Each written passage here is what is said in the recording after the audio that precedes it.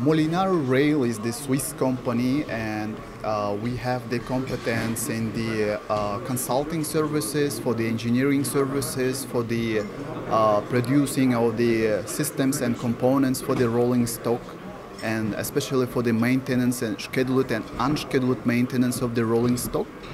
Um, here in 1520 market in Russian Federation, we are very active uh, especially the project for the consulting services. It's the Aero Express, which is in Moscow, uh, the Moscow Public Transportation Company.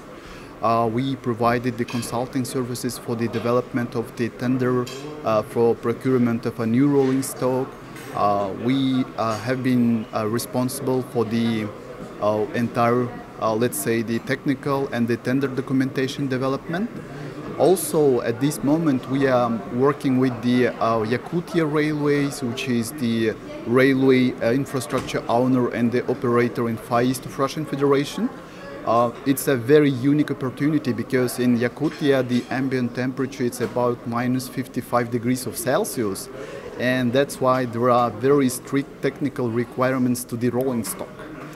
At the Expo 1520 this is a unique, let's say, place, uh, let's say marketplace, because you know we are having many meetings with the, our customers. That one, that that's why we can, let's say, um, see how can we develop further, and uh, we, this way also we uh, determine any uh, new opportunities that we can pursue in the 1520 market.